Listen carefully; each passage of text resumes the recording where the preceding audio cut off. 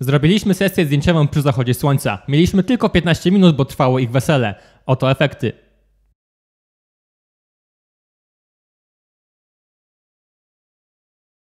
Po więcej zapraszam na mój kanał YouTube oraz Instagrama.